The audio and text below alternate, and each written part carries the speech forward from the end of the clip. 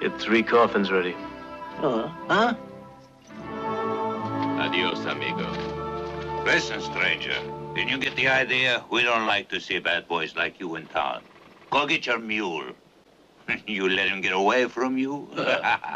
You see, that's what I want to talk to you about. You see, he got all riled up when you men fired those shots at his feet. Hey, you making some kind of joke? Mm, no.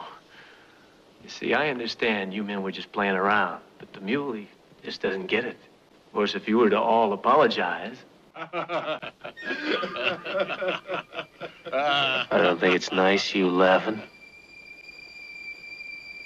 You see, my mule don't like people laughing. It's the crazy idea you're laughing at him. Now, if you apologize like I know you're going to, convince him that you really didn't mean it.